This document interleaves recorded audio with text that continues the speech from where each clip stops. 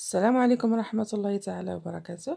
العشاق البقولة أنا اليوم غادي ندير واحد الطبيسيل ديال السبانخ شبيه بالبقولة. غادي يعجبكم إن شاء الله كتستحق التجربة. ندوزو للمقادير وطريقة التحضير.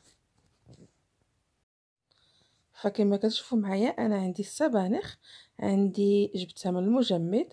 كذلك عندي واحد جوج القرعات اللي نقيتهم وقطعتهم. غادي ندير الزيت في الإناء وغادي نديرهم مباشرة فوق النار وغادي ندير لهم التوابل التاليه نحتاجو معلقة كبيرة فلفله حمراء معلقة صغيرة د الكمون الحرور على حسب الذوق واحد جوج معالق ديال القزبور والمعدنوس والثومه واحد نص حامضه مصيرة مقطعة طريفات صغار.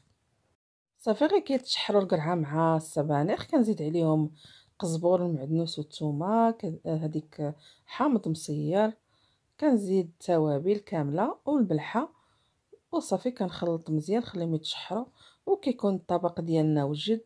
كنزينو بشوية الزيتون وشوية الحامض مصير كيجي لذيذ ومحمض والحرور. بالنسبة للناس اللي كيبغيو الحرور كنتمنى تجربوا هذه الوصفة.